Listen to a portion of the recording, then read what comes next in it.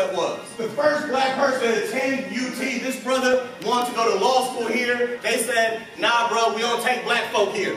He decided to go ahead and open up a lawsuit and say, I'm not going to just settle for that. Because of that, five black folks got into UT. His family said that if he had the support system these black guys have now, it would have been no questions, hands down, he would have graduated. We're here for you. You're not in this alone because we're in it with you.